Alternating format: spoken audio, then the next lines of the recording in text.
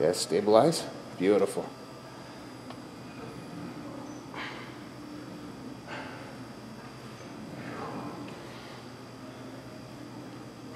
Okay, turn around. Take a little break. The knee position's good. You're going close to the floor, but not touching it. Good. Out, twist.